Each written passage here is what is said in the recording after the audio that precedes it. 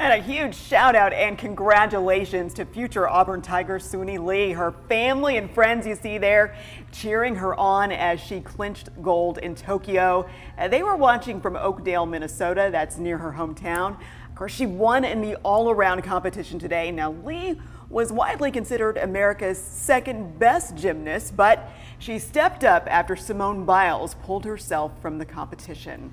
That's if you stay ready, you don't have to get exactly. ready. Exactly, personified uh -huh. right there. Our Ryan Hennessy joins us in studio. And Ryan, you spoke with Auburn head coach, a head gymnastics coach, about what this means for the program and uh, the benefit Suni Lee stands to be eligible for now. Yeah, Guy, what a, what a video right there. See the family cheering her on. And what an opportunity. Suni Lee now has the new name, image, and likeness deals.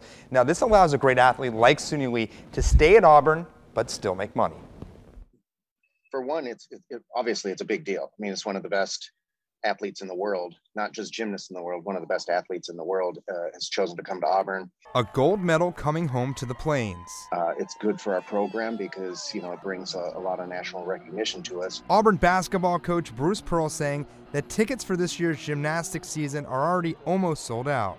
I would say she probably felt more pressure. Uh, you know, all the eyes are on her now, and she's carrying the hopes and and uh, and dreams of USA Gymnastics. The hopes and dreams, but with this new NIL deal, gymnastics stars like Lee can stay at Auburn and still make money from their success. I think it's a huge deal. I mean, um, uh, it's the whole team.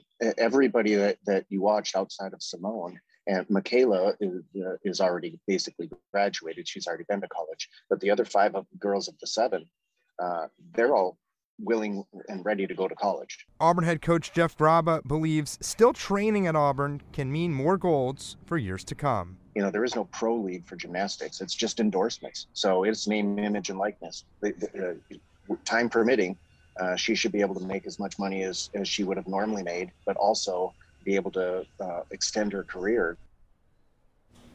What a great story. It was great to see Suni Lee. I can't believe she's just going to be a freshman walking on campus at Auburn. Guy? Yeah, talk about one of the cool kids, huh?